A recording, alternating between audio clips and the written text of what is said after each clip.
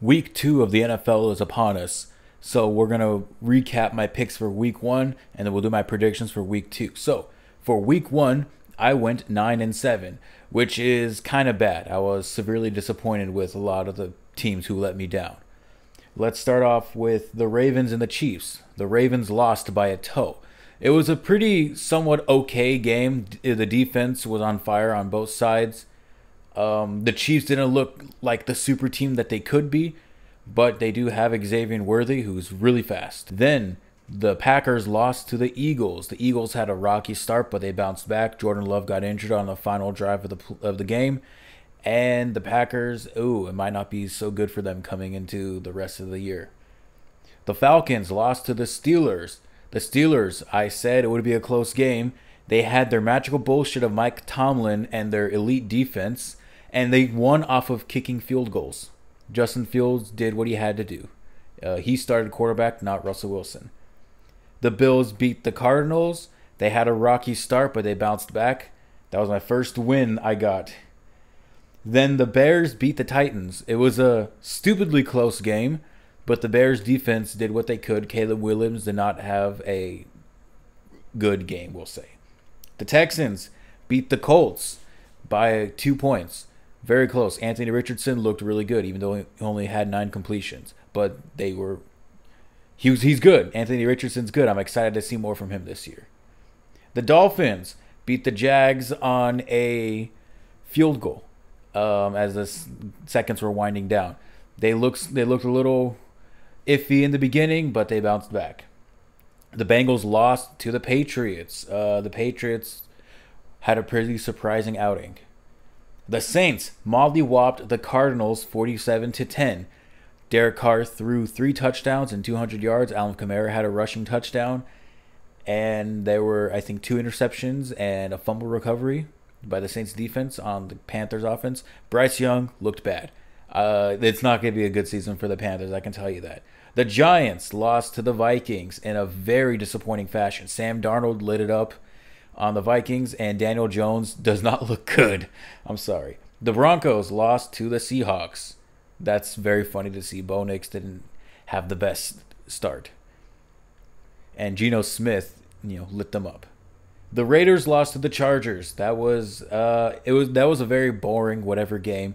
Uh, the defense did their best, but the Chargers had some pretty big run plays, and Justin Herbert didn't get to you know throw deep bombs like he usually likes to. Some short passes, but it worked out for them.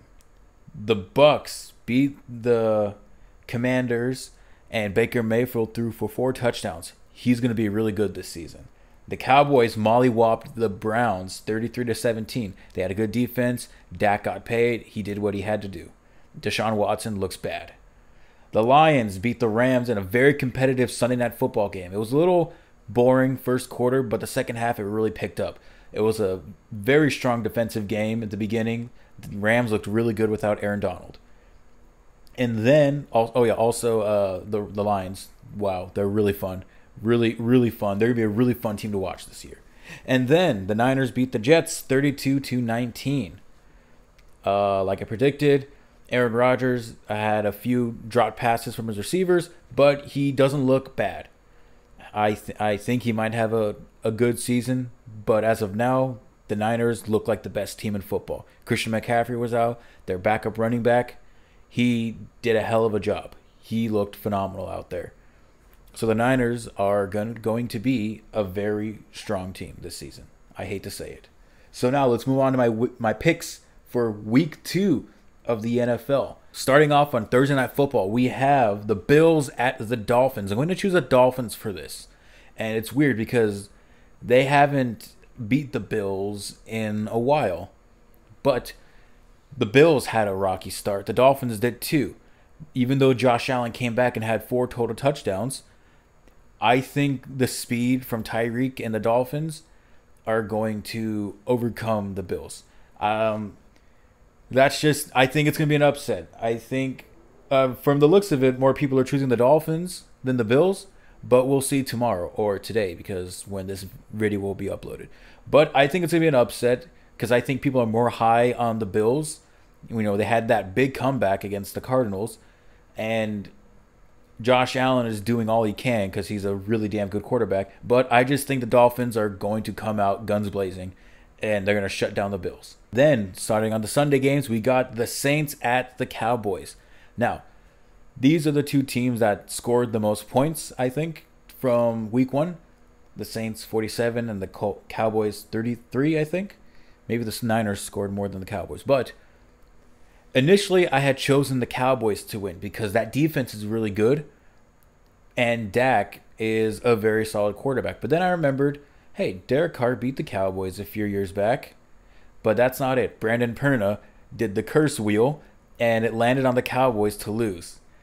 So solely on Brandon Perna, I'm going to choose the Saints. And if, you know, the Cowboys win and the curse wheel didn't work, I'm going to be very upset. But in all seriousness, this is going to be a very fun game to watch. And this will ultimately prove this the the the the standard for both of these quarterbacks. Are they are they going to be the team that people think they're going to be, or are they going to sputter out?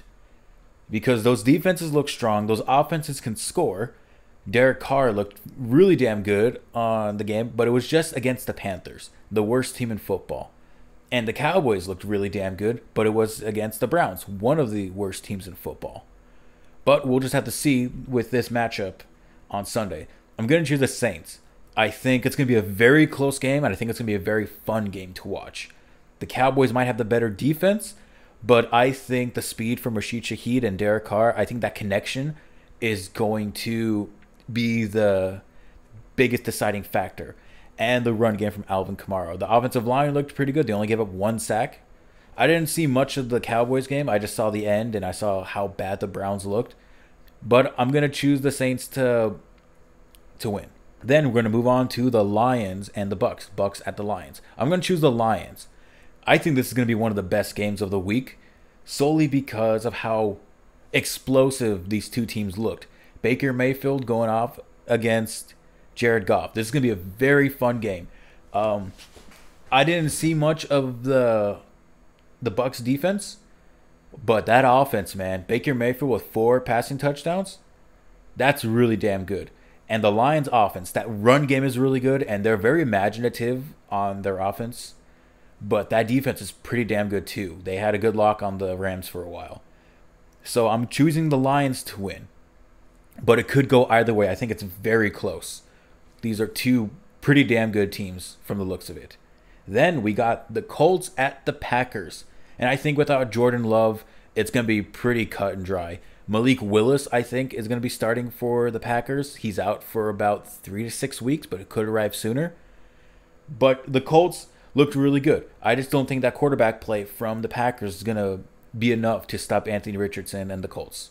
Uh, that's it's pretty quick on that. I'm not sure about what these two teams can do. Really, I didn't watch them much, but I'm just I'm just gonna say the Colts. Then we got the Jets at the Titans. Uh, from what I saw from the Titans and Bears games, it looked kind of sloppy and boring and very whatever. Um, the quarterback for the Titans threw a pick six to basically lose the game. Uh, he did what he could to try to keep the play alive, but he just stupidly threw the ball. And um, while he was being while he was being sacked, he threw the ball.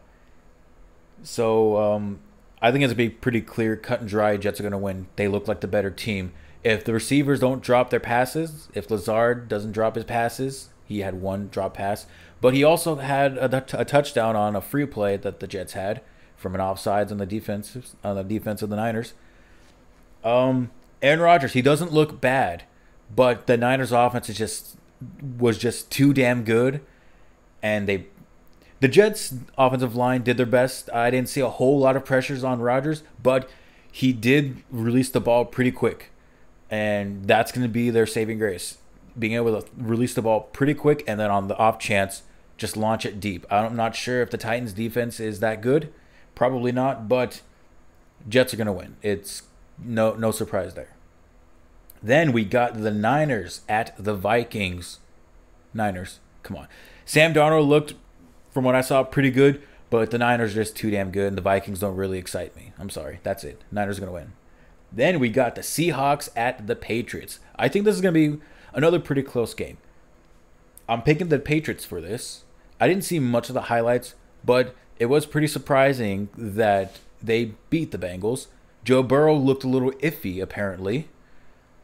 And the Seahawks, they looked pretty good. But I think the Patriots are going to upset the Seahawks just because. Just because. This It's not based on anything, really. It's not based on anything I'm going to pull from stats, whatever. I just think the Patriots are going to come and upset. I think Jerod Mayo is going to have a strong start for coaching. People driving. Um, yeah, I just think it's going to be an upset. This is the upset of the week. Patriots are going to beat the Seahawks, even though the Seahawks looked pretty solid against the Broncos. Then we got the Giants at the Commanders. Uh, apparently, Jayden Daniels looked pretty good for the Commanders. I didn't see much of that, but the Giants were awful. They were awful. They scored the least amount of points in all of week one, from what it looks like. Yeah, no, they didn't even score a touchdown. They are they are going to be really damn bad this season. And yeah, that's basically it. Commanders are going to win. Then we got the Chargers at the Panthers. Another pretty cut and dry one. Chargers are going to win. They're the more well rounded team. The Panthers are garbage. I'm sorry. they might go 0 17. It doesn't look so hot for the Panthers. Oh, God. Ugh. It's going to be bad. Then we got the Browns at the Jags. Another pretty cut and dry game. The Jags. They had a pretty strong start against the Dolphins. They didn't do much in the second half. The Browns are just, they, they looked bad. If you saw the game when the Cowboys mollywopped them, Deshaun Watson doesn't look like he's all there. It looks bad. They're going to lose. They might have a good defense, but no. Um, Trevor Lawrence is to, I think, my, mop the floor with them. Jags win. Then we got my Raiders take my Raiders taking on the Ravens. I'm to choose the Ravens to win. I want the Raiders to win. I just don't think it's to happen. You know why? They didn't. It's the offense. Their defense looked really damn good against the Chargers in the first half. They had him on lock, really. But that the quarterback play, the offensive line, it's it's it's not good. Gardner Minshew didn't look bad. He just needed more time and the offensive line needed to do better on the run game because Zamir White didn't have that good of a game as a running back. Um, and when the offensive line, you know, can't block for the running back, we're going to rely on throwing passes. But we're going to rely, and because the offensive line won't be able to protect that well, we're going to have to resort to throwing to throwing shorter passes, and then that's basically all we had. We didn't have that many big throws whether it's O'Connell or Minshew, it's that offensive line that needs work. But I believe in Antonio Pierce and the defense. I think the defense is our best part of the, the team. And he's a defensive minded coach. So that's why the defense is really locked in. It's the quarterback issue. On the other side of the Ravens, they had so many opportunities to take out the Chiefs. And Lamar Jackson, he had a few uh ohs against the Chiefs. He could have thrown the ball to certain receivers. He could have he could have ended the game a few plays earlier while they were in the red zone. But he just he threw the pass weird. The receiver wouldn't wouldn't have been able to correct his body to catch the ball. So unfortunately, well, I mean, I'm not done yet.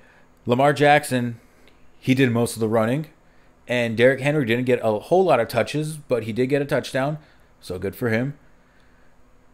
But it's interesting because that Ravens offense didn't look super explosive. They had a few good plays, and Lamar Jackson uh, extended a lot of those plays on his feet.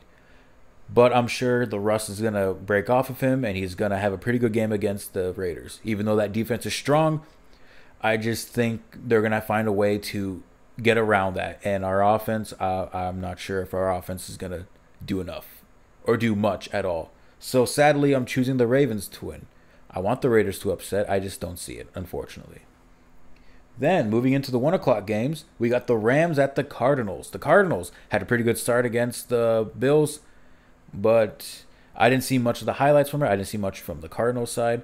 So, what I can say is that the Rams looked really damn good against the Lions. That was a really good Sunday night football game. I remember saying I thought it was a weird matchup but I totally forgot that Matt Stafford and Jared Goff used to be on each other's teams and yada yada. I forgot all about that. I thought that was old news. Um, and then I for- also forgot that it was a playoff game from last season. But what I'm going to say is that the Rams look really damn good. Without Aaron Donald, that defense still was pretty damn good, getting a lot of pressures on the Lions. And Matthew Stafford and Cooper Kupp, that connection's great. It doesn't look like Nacua might play. He might be questionable. I'm not sure if he's out. I might have seen something about it. I just can't remember. But that connection with Kupp is what's keeping that offense as explosive as it is. And there's and Matthew Stafford can sling the ball around to a bunch of different receivers. He's really good at that. It's gonna be a pretty pretty fun game. I think the Rams are gonna take it. Then we're moving on to the Steelers at the Broncos. This is funny because Russell Wilson is letting the Broncos down yet again because he most likely will not play as he's dealing with an injury. He didn't play in week one. Justin Fields played. It was a very sloppy and boring game, but Justin Fields made critical throws in the times that he needed to. And that Steelers defense is just really good. So I'm choosing the Steelers to win. The Broncos, I didn't see much from it, and apparently Bo Nix didn't have a, a really good um, opening, a really good debut. And just because of the experience, and just because Justin Fields knows how to extend plays, he might be a little more comfortable in that Steelers offense. I I'm gonna I'm just gonna choose the Steelers to win. It might be a sloppy game, but hopefully we'll see a touchdown out of the Steelers finally. Then we got the Bengals at the Chiefs. Clear cut and dry Chiefs. Chiefs are really dominant.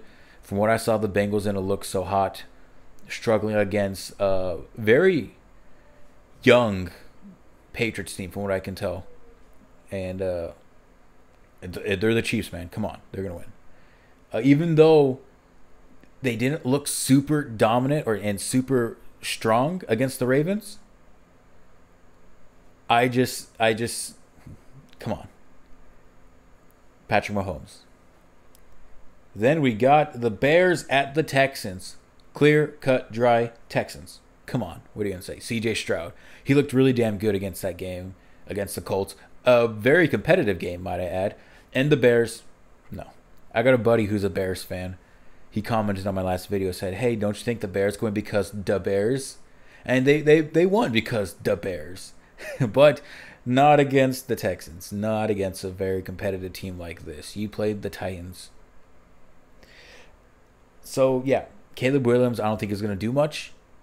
Joe Mixon, I think he's going to have a really, really good game against the Bears, and CJ Stroud, of course. And Sunday night, this is your Sunday night football game. The Bears at the Texans. Come on, uh, um, you're uh, the Bears are gonna get embarrassed, I think.